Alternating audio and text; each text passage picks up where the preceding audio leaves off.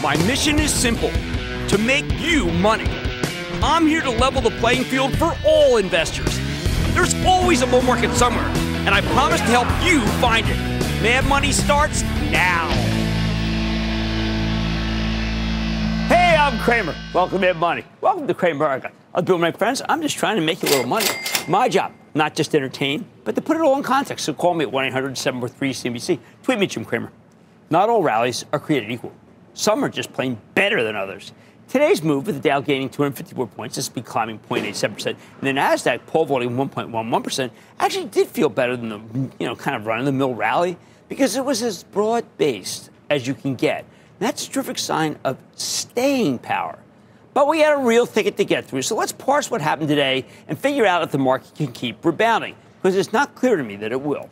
First, we came in with a negative oscillator reading, minus 5.64%. Not as negative as it was a, a, a couple days before, but still a coil spring. Now, you know I follow the S&P oscillator religiously. When you have many down days, you can almost always count on a bounce. I like to look at a year's worth of the oscillator. We bounced off oversold levels in August and twice in October of last year at almost the exact same readings. And then the market just roared until this three-week sell-off. It's reassuring that the market can still bounce, isn't it? Because it means that there's some rationality to things, but not every oversold bounce has staying power.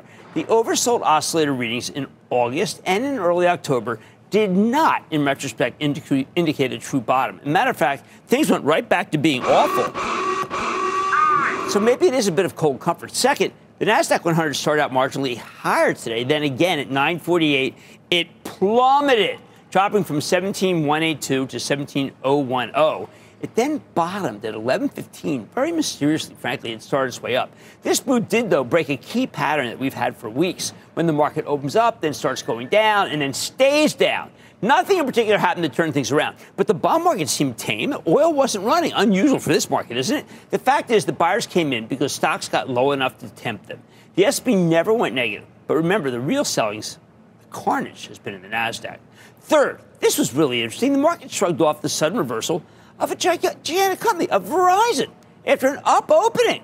The giant telco company reported in the early morning the stock initially rallied 3% in the before market trading. Then, when the regular market bell rang, the stock still opened up, but it was appreciably down from those lofty pre market levels.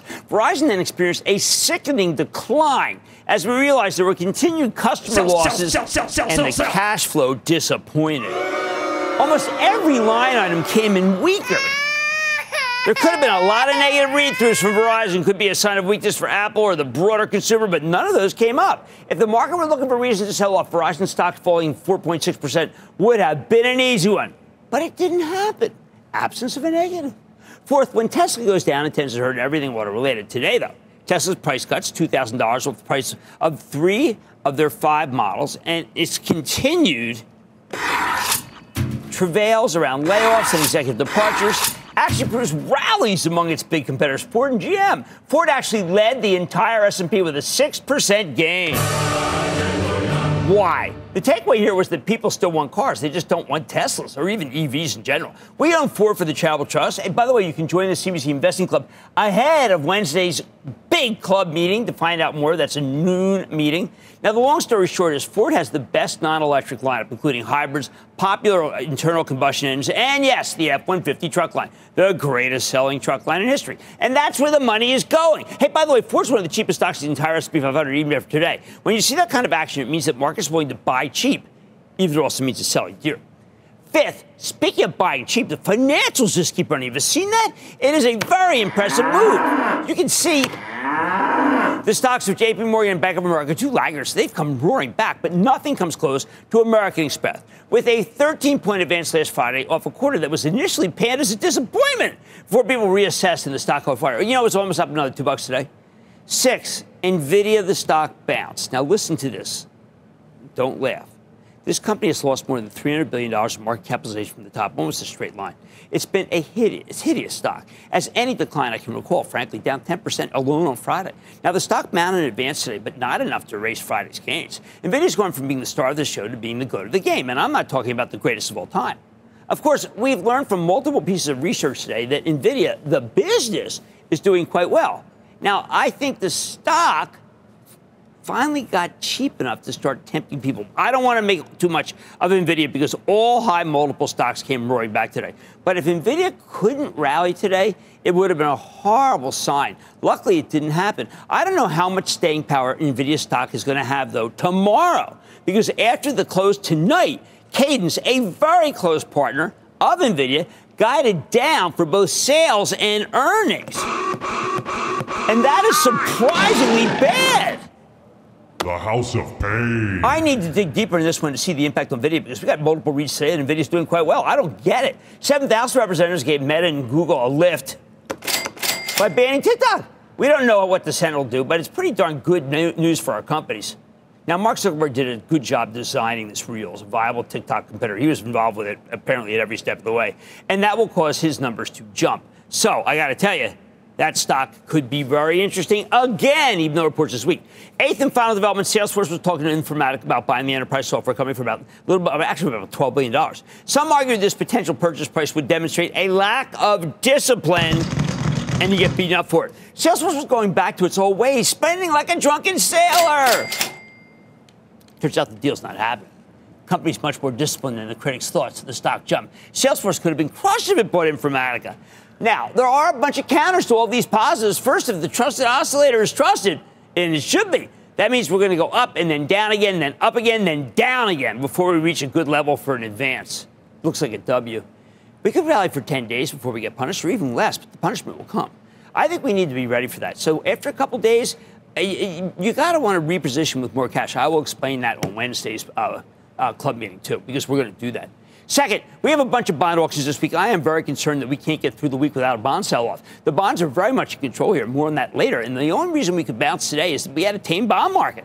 I'd be stunned if bonds don't move much down in, in price and up in yield into these three auctions. It's a two year, it's a five year, it's a seven year, all of which are abnormally large. Now, look, if we do get through those auctions and we get a good personal consumption expenditures number on Friday, then we deserve to keep going higher. But I think it's a mighty tough, tough gauntlet to run through. Kind of like that one with Clint Eastwood, very hard. Third, today's bounce might just be because nothing happened in the Middle East this week in absence of a negative. I don't think that'll continue to be the case. If you want to bet on peace in the Middle East, be my guest, but history says that's a bad wager.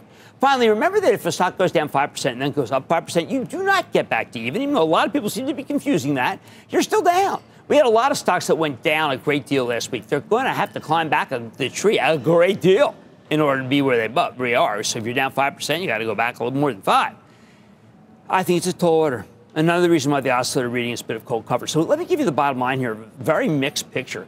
I think the positives do outweigh the negatives, at least for this moment. History, however, says it won't last, so be ready for another decline. Raise some cash. When is it going to go back down? I don't know. Probably should go up first. But there's just a lot to worry about, and I don't want you to think or get complacent. Let's go to Sharon in Minnesota. Sharon. Oh, yeah, Jim. Uh, I'm a club member, and I have a question about ELF. I know that Ulta got hit, but do you think that ELF is a buy, hold, or sell? Okay, so ELF is a high multiple stock that didn't used to be, and yet it was up today. So I got, first of all, Sharon, thank you for being a member of the club. I hope to see you on the Wednesday uh, club meeting. But ELF is good. Uh, ELF is uh, other than the chart pattern, which is not that good. But uh, we, we spoke we spoke to to uh, Tarang Amin just I don't know less than ten days ago, and things are really really strong. So I would like to, you to be in that stock. Let's go to Trey in Texas. Trey. Jim, I rage canceled my auto policy on notice of an 8% premium increase, only to discover a lapse in coverage can be far more detrimental. My new 90% higher rate, paired with effective anger resolution classes, has really put a strain on my budget. As insurance companies are doing far better than I am, I wanted to see if you think I should buy Progressive here and share the. Yes, the answer is absolutely yes, and not just because the uh, the anger management thing, which is really something I don't know a thing about. You'd have to help me with that. Um, but I will tell you this the Progressive's doing incredibly well. By the way, they are the most AI oriented of all the insurers. Interesting, isn't it? They price really, really well. Now, all right, listen to me. I think the positive for the moment in this market outweigh the negatives, although that cadence took my breath away. Remember, they are the partner of NVIDIA. But history says it won't last anyway. Mad Money tonight. What's driving the Nasdaq's recent downturn, including some Supermicro's 23% drop on Friday? I'm going to give you my take. I think it's going to surprise you. Then Netflix no chill. After the company's post earnings decline, I'm examining the bull and the bear case for the company. And gold just had its worst day since February of 2023. But after this year's run up, is it time to consider the yellow metal? I'm going to sit down with the CEO of Barrick Gold. The stock's not doing that well, I know, to get maybe make a little sense of the action. How about that? So stay with Cramer.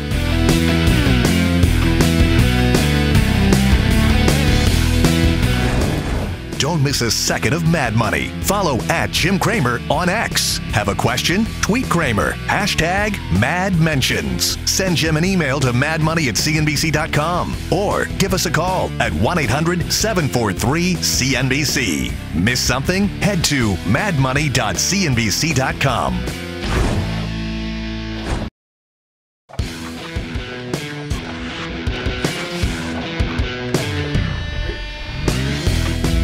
right, here's one for you. How does a stock lose nearly a quarter of its value in a single session?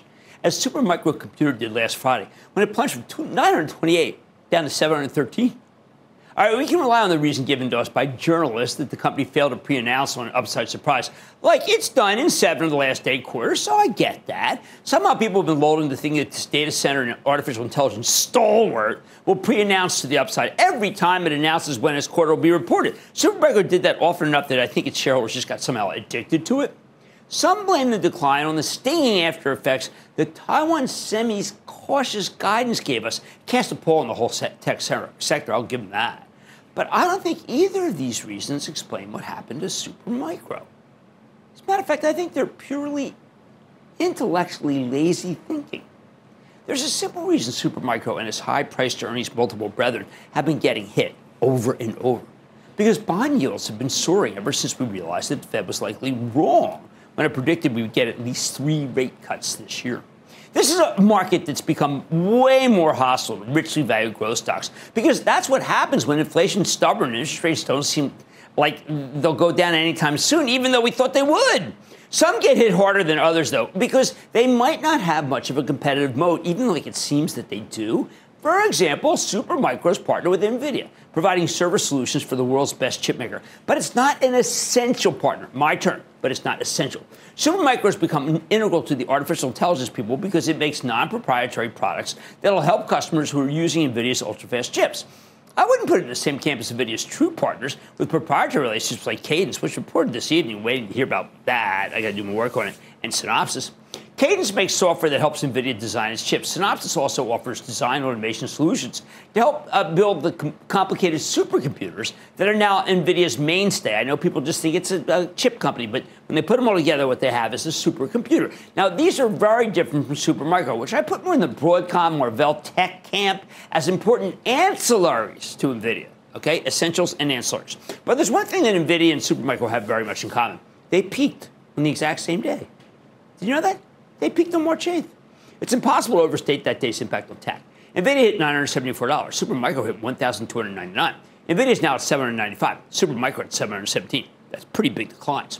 If you Google March 8th, you'll see that shares of Marvell Tech were selling off after the company reported a shortfall the previous evening, where their weaker old tech business couldn't be offset by the strength in the new optical plumbing that's needed for accelerated computing and generative AI.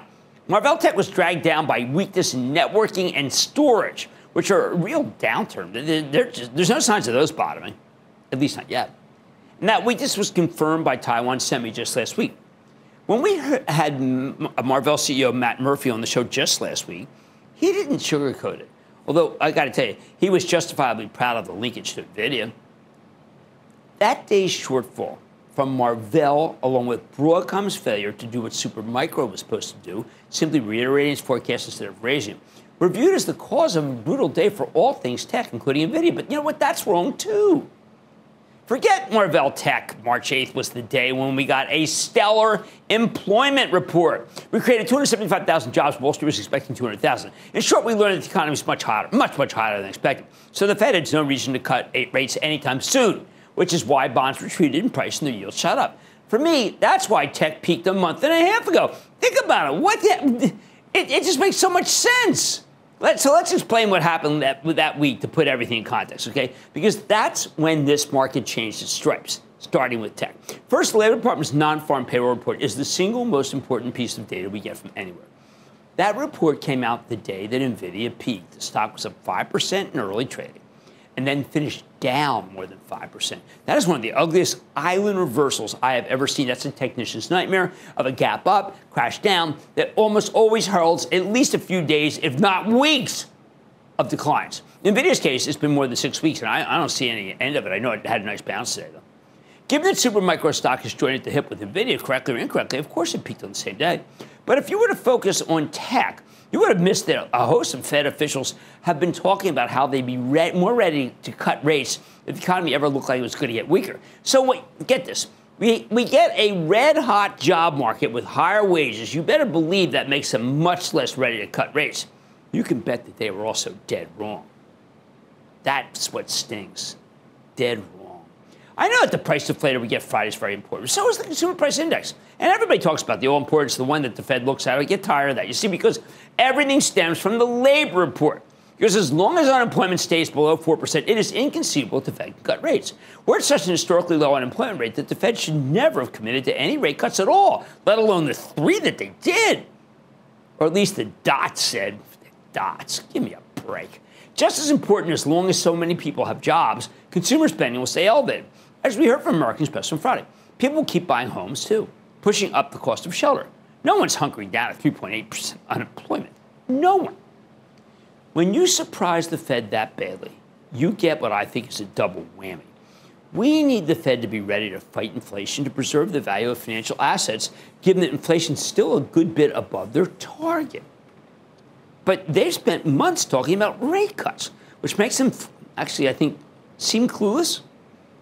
Worse, from the bond market's perspective, it makes the Fed seem weak, which is why we've had a bond market rout for weeks now, masked by the occasional flight to quality inspired by the instability in the Middle East. So why did uh, Supermicro get obliterated last Friday? It's the bond market, people. The action in bonds makes us feel like dopes for paying up for any high multiple stock, not just tech. We're seeing consistent weakness in biotech or high multiple drug stocks like Eli Lilly. Not because it's a drug company, for everyone's sake, but because it's got a high price earnings multiple. That's it.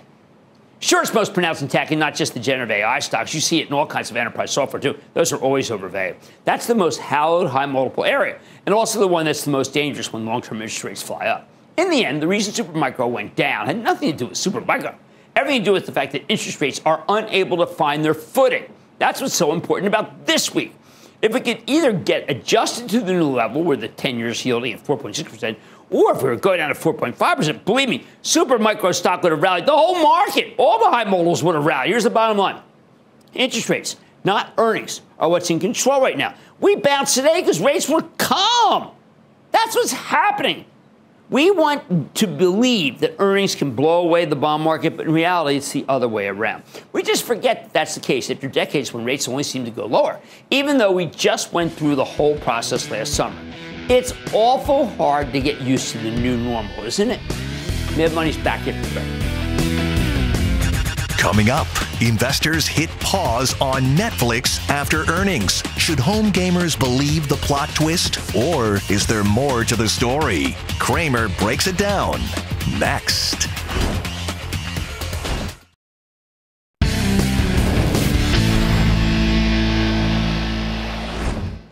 Right, we got to talk about the market's surprisingly negative reaction to the Netflix quarter, where the stock tumbled 9% last Friday.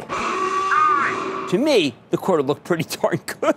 Yet the stock's in full blown correction mode here, down more than 13% from its 52 week high a couple of weeks ago. Netflix, beloved, say it ain't so. How'd this happen? This is the most popular stock in the market to most people. First, let me set the stage by explaining what happened here and then I'll walk you through both the good and the bad examples, the bull and the bear thesis, so to speak, because that's the best way to formulate your own opinion. Remember what I'm trying to do here? I'm trying to teach you into understanding how people think on Wall Street so you can make up your mind yourself. In terms of what happened, Netflix reported a huge subscriber beat. No one's disagreeing with that. They added 9.33 million paid users. Again, that's a surprise. Wall Street was looking for less than 6 million. Biggest first quarter subscriber additions since the COVID first, eh, COVID first hit in the first quarter of 2020. Revenue. Revenue came in higher than expected, up nearly 15% year over year, and an acceleration versus the previous quarter. Netflix's paid account sharing offering seems to be converting former password shares into paid users. Their advertising tier keeps improving. And they keep putting out great content that resonates all over the world.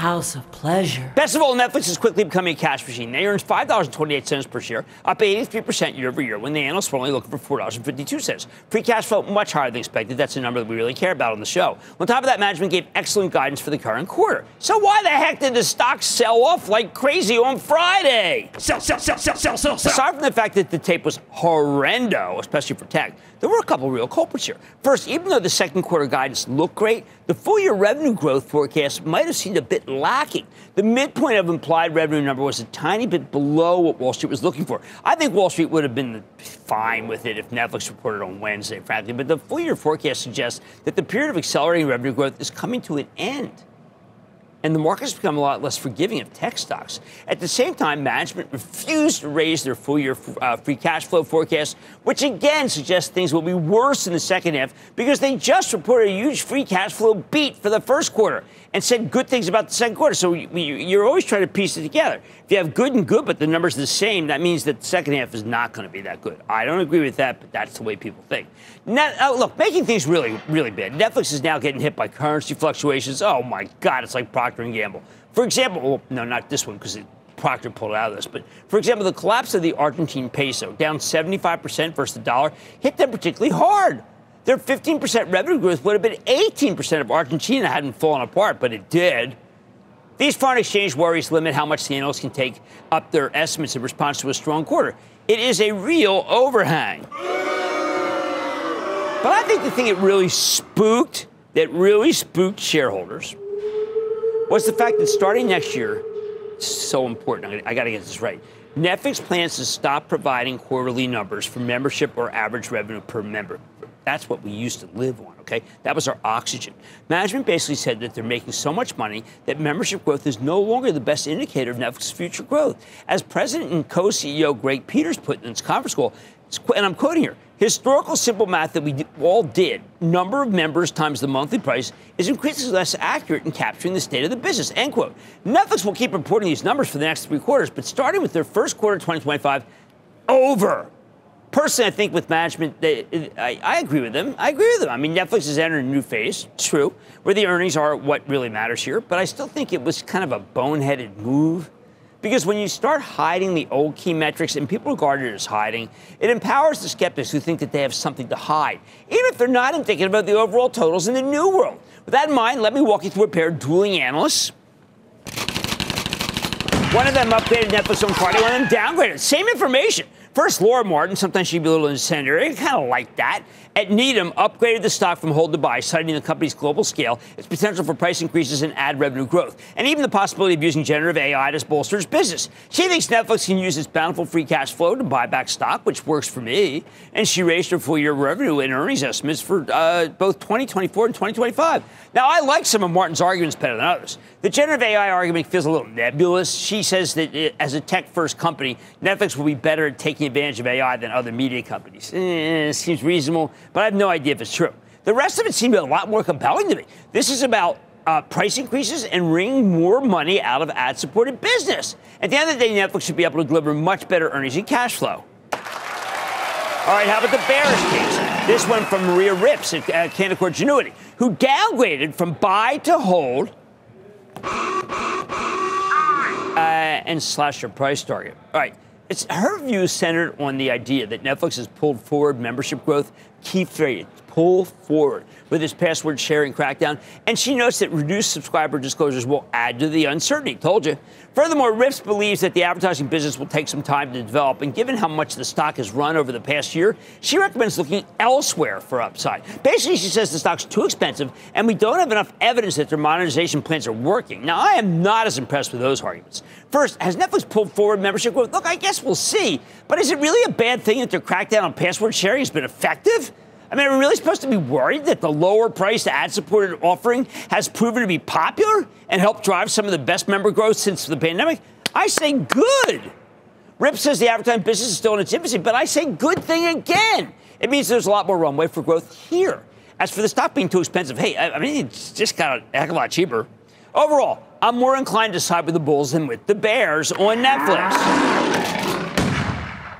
Because last Thursday night, we had saw a company that's simply doing much better than expected at its core business of selling subscriptions and quickly building a strong supplemental business selling advertising. I bet the ad business keeps building and quarter after quarter and year after year, which is a good thing, not a reason to go bearish. Most importantly, I see a business that's becoming much more profitable than anyone could have imagined just a few years ago. I can remember when Netflix only traded on subscriber growth, and it was an open question if the company could ever turn a profit. A decade ago, many skeptics still argued that the business was destined for bankruptcy. Oh boy, am I glad that's not the case and happy to focus on the big profits and the big cash flows. So let me give you the bottom line here. Netflix may have sold off hard because they'll stop providing quarterly subscriber numbers starting next year, which does feel ominous. Actually, I'm not worried because this company has pivoted from a pure growth story to a profitable growth story, and going forward, profitability is what you should be watching. That's why I'm siding with the bulls here and sticking with Netflix, especially now that it's gotten substantially cheaper despite reporting an excellent quarter. And believe me, do not these people deserve the benefit of the doubt? Let's go to Greg in Illinois. Greg. Jimmy Chill, an electrifying Pepe with hat to booyah. Let Man, me tell I- you, Jim. Nelson Peltz, he knows nothing, and Bob Iger is the man. Although Netflix is pushing media stocks down, I'm seeing JPM and BOA price targets on Disney at 140 and 145 as of last week. I want to take my kids to Disneyland and watch ESPN, Jim. Are you buying here, and can we get back to 124 where we were just a couple weeks ago? Well, look, first of all, I, I commend your enthusiasm, which is really terrific. Uh, and uh, that matters, okay? It, and I, that, it, it definitely matters. You're completely wrong. Um, okay, uh, understand. Disney just has been a one-way trip to the uh, to the danger zone since uh, Nelson Peltz was no longer involved. The stock goes down pretty much every day. I managed to sell a lot when Nelson didn't get on because I felt that if Nelson got in that boardroom, we would have a shake-up and some discipline. I've been proven right, but I will do. I, I'm going to keep agree with you on this. I love to go to Disneyland. I love to go to Disney World, but my kids don't want to go with me, and I think it'd be really creepy if I went by myself. Right, I'm not worried about Netflix. This company has pivoted from a pure growth story to a profitable growth story, and profitability is what you should be watching. Hey, I got so much mad money ahead, it's crazy. Gold is shined this year. So why is Barrick Gold stock lagging? What the heck is that about? I'm sitting down with the company CEO to get a better read on the commodity. Then comparing apples and EVs, after the fall on both Apple and Tesla, I'm going to tell you if they have more in common than you think. And of course, all your calls rapid fire tonight's edition of the Lightning Round. So stay with Cramer.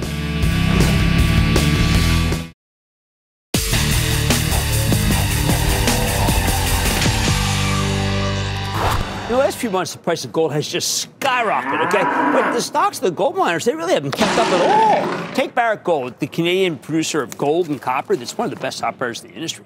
Yeah, well, gold prices are up 13% year to date. Barrick stock is actually down 9%. Now, a lot of that's because Wall Street's been very worried about higher production costs. But as I mentioned a few weeks ago, the stock's trading as though nobody believes these higher gold prices can stick. The precious metal got slammed today, but it's still in the 2300s for heaven's sake.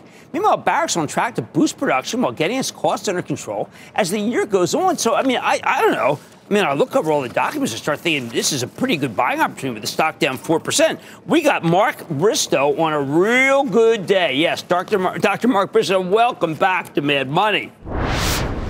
Hey, Jim, how are you? Well, Mark, I got to tell you, you got to buy back, right? I think it's a heck of a lot cheaper to mine gold by buying back your stock than it is to mine gold by taking those big machines, getting gold out of the ground. And I can't figure it out, so I'm coming to you because I know you got the best properties and I know you know how to control costs better than anybody.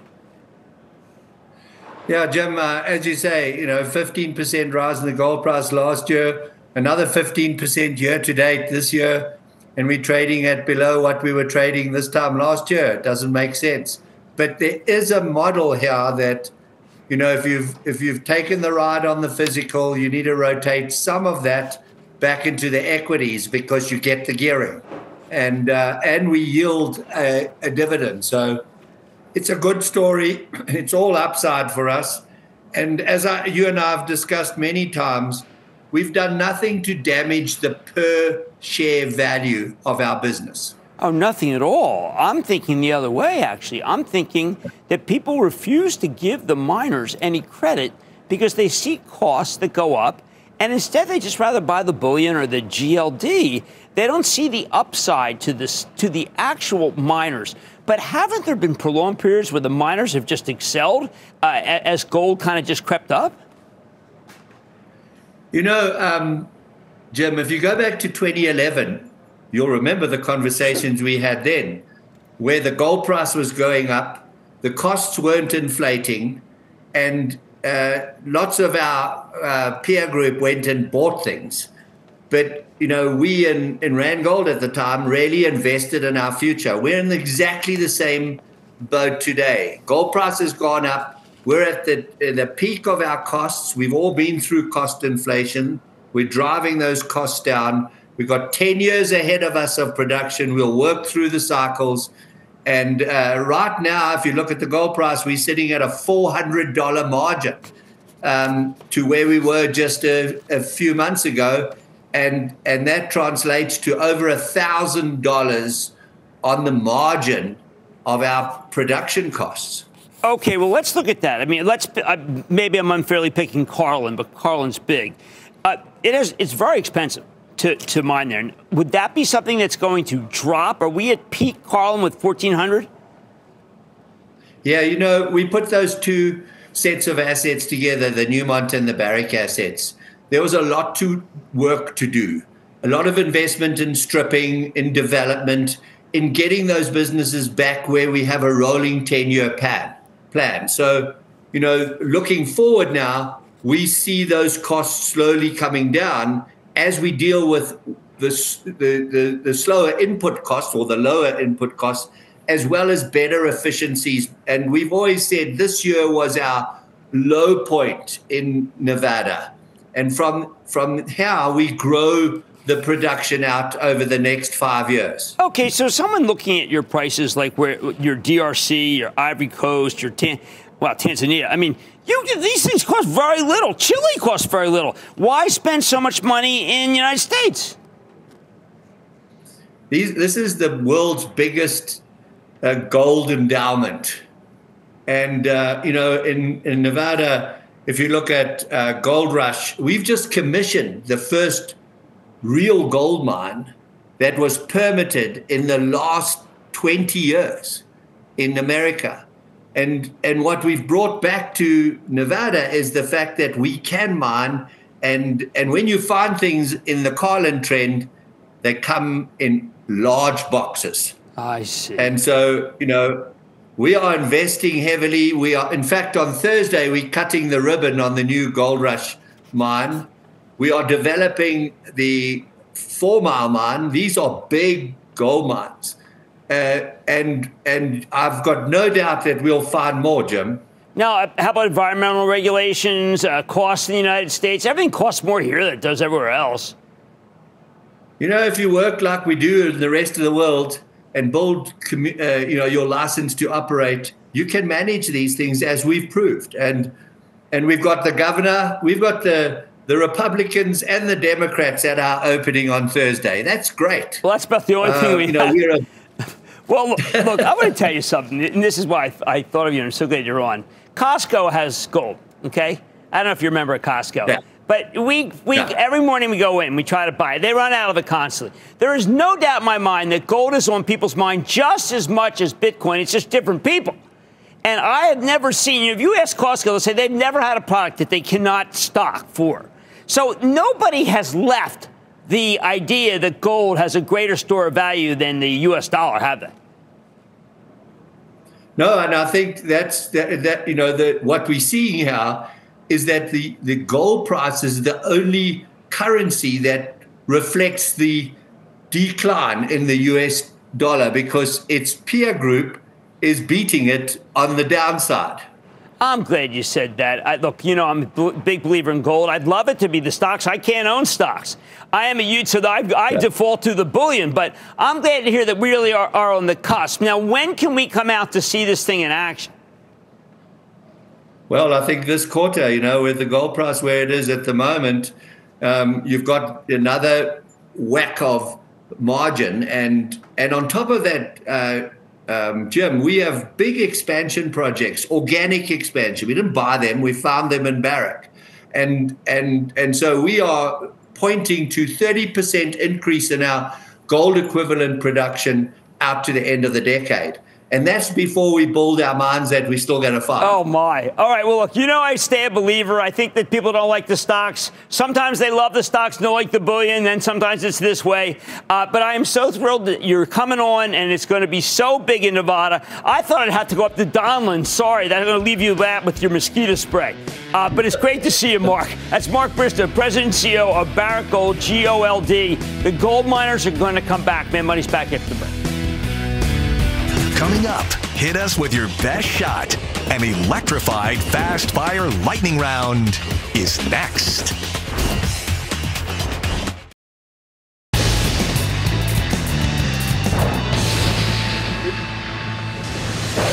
It is time for something the light round. Pretty much more gold. Only saying this stock settled by myself. Do my step for me. Blaze And then the lightning round is over. Are you ready, Ski? That the lightning round. Let's start with Brendan in New Jersey. Brendan. Hey, Jim. So I just heard about this company. I have no idea what it does. And I think I should go all in. Upstart, what does it do? And should I go all in? Well, I'd say use this. Uh, that's a good way to start. I mean, do a little more homework maybe than just that. But um, okay, this is a, uh, a bank holding company. It uses artificial intelligence. And I've got to tell you, I don't like it. There are so many good banks. Why not buy JP Morgan at a discount? I think that when you look at Upstart versus JP Morgan, I, I have to tell you, my stunning conclusion, given the fact that you don't know all that much about it, is that JP Morgan's a better bank than Upstart. Who knows? Let's go to Harry in New York. Harry. Mr. Cramer, proud alumnus of the U.S. Naval Academy, class of 88. Wow! Uh, thank you for serving, and I wish that I, boy, you know, we, we I wish we'd go down there for the, for Veterans Day. How can I help? I would love to know your thoughts on a California-based pharmaceutical company. They develop medication for chronic viral infections, and they have a product, Neffy, N-E-F-F-Y, seeking FDA approval. Stock mid-January was just over $6. By the end of March, it was 1022, and now it's been tumbling down to 821. The well, let's say, I got to tell you, um, these stocks that do, um, people are not going to like this, but anything that does immuno, I got to tell you, I am, uh, I am, I am four, four, four square behind, and I know that this is a speculative stock, but this is what we need more pharma companies to do. So I salute you, and I salute that company. Now we're going to Charles in Illinois. Charles. Good afternoon, Jim. I value your opinion. So can Thank you, you tell me if I should buy more, hold what I have, or sell my shares in SGH, Smart Global Holdings? You know, this company missed its quarter by a, an element that was so big that I cannot count as recommending it. I can only count as selling it. Yeah, I'm not kidding. I think it's that bad. Let's go to Donnie in Illinois. Don. Hello, Jim.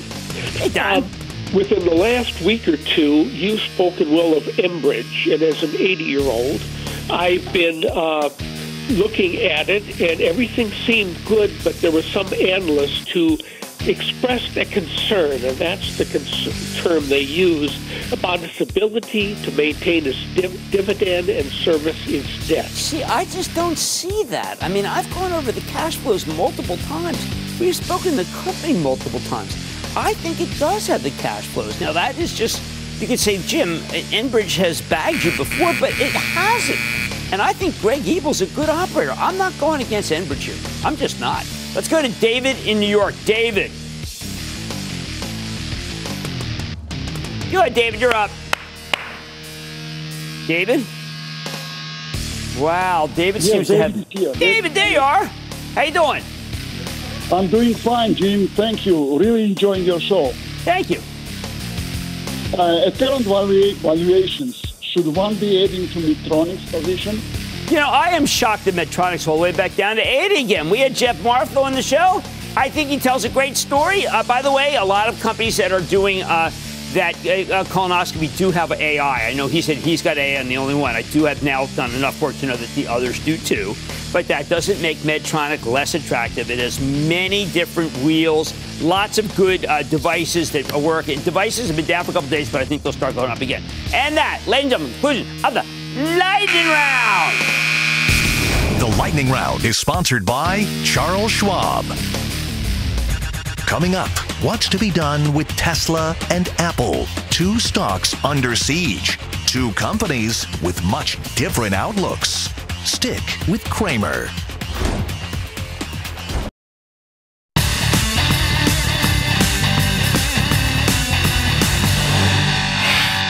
Are Tesla and Apple two peas in a pod? Can their stocks find a bottom after spending months in the pea pod of pain? The House of Pain. We don't have to wait long for Tesla, do we? Which reports tomorrow. Stocks down an astounding 43% year to date, second worst the S&P. We have to wait a week for Apple. Doesn't give us the numbers until May 2nd. But I think there's a great difference between these two, actually. Tesla shares are owned largely by individuals, along with a few vocal fund managers. Those individuals know only one thing. When the stock was much higher, they thought that Tesla was an up stock. Now that it's a down stock, they're selling it. I know that sounds real silly, but there are a lot of homegrown traders who make silly decisions a habit. It's a habit that we're trying to break at the CNBC Investing Club. They're horrendous fellow shareholders when the stock's in decline because they don't want to know what's really going on. They're not interested in Cybertruck deliveries or self-driving cars or even cheaper models. They're only interested in getting out before we learn the truth. If the truth is that Tesla's still making money and Elon Musk pulls a rabbit out of the hat, they'll come right back. If he has nothing but self-driving cars plans, uh, robos, uh, taxis, I mean, I say Hertz wanted to do that, and that failed, so Musk will too. On the other hand, Apple's mostly owned by big institutional money managers. And those institutions don't look at stocks as an up or down entity. In fact, in the case of Apple, they look at iPhone sales, not Macs, not iPads, not watches, not AirPods, certainly not Vision Pros, not even service revenues. If you just look at iPhone sales, we'll most likely get a disappointment and a statement about for the weakness. There'll be talk about a developers conference in June and the launch of a new phone in September, but who knows if that can take off without an AI tie-in of some sort. Still, I think the big institutions are looking to buy Apple after the estimate cuts because they're looking forward to those two events. But I expect their interest will remain tepid unless the company can announce that their growth is in the rest of the world is accelerating faster than their business in China is shrinking. There, I'm thinking about uh, Brazil, Indonesia, India. If they present that and give an analysis of how sticky the, the uh, revenue stream is, you know, for service, then I think the stock can bottom somewhere slightly below here. Why, why is Apple okay if it disappoints while Tesla's very much not? I think it's because Wall Street's no longer presuming Tesla will have a miss, it's presuming they'll have a loss. If it doesn't lose money, then the messianic buyers, and I'm talking about Cathie Wood or Ron Baron, will step in and call it an amazing buying opportunity on our network, most likely. They can draw a line in the sand and make it work, but not up here because Tesla's feeling mighty like a car company with the wrong product line, electric vehicles, when everyone who wants one seems to have one already and there's no new product refresh. Car companies get very, very low price earnings multiples. Apple, on the other hand, does have a refresh, and we do know that refreshes are reasons to buy, not sell it, it, there's no pulling a rabbit out of a hat here. There's just an incrementally better product that gives institutions a reason to buy this high quality company with a stock that now sells at a lower multiple than we've gotten used to. It's a slim read, I know, but Apple does make a lot of money. It just doesn't grow as fast as we'd like. Some people say there's no growth at all. If you think there's no iPhone refresh ahead, the stock would, per, would absolutely be a sell at below market uh, multiples on declining earnings. Now, I could easily see it trading down to 120 in that scenario, but fortunately, that's not the scenario we live in. And here's the real difference between Apple and Tesla. The institutions who own Apple would never let the stock fall that low. They'd find some way to justify paying more, more than that price. But those institutions don't care about Tesla at all. And there isn't enough retail money to staunch the decline. Worst case scenario, Apple, you can buy Apple 160 and then scale in. I would do it every five points, getting bigger as you approach the 130. So I think the longs will make a stand based on next year's earnings estimates. Not pretty. But you know what? It's always good to know the parameters of a stock, the stock that you advocate owning and not trading. I like to say there's always more working somewhere. I promise to find it just for you right here, Mad Money. I'm Jim Cramer. See you tomorrow. Last call starts now. All opinions expressed by Jim Cramer on this podcast are solely Cramer's opinions and do not reflect the opinions of CNBC, NBC Universal, or their parent company or affiliates, and may have been previously disseminated by Cramer on television, radio, internet, or another medium. You should not treat any opinion expressed by Jim Cramer as a specific inducement to make a particular investment or follow a particular strategy, but only as an expression of his opinion. Cramer's opinions are based upon information he considers reliable, but neither CNBC nor its affiliates and or subsidiaries warrant its completeness or accuracy, and it should not be relied upon as such. To view the full Mad Money disclaimer, please visit cnbc.com forward slash Mad Money disclaimer.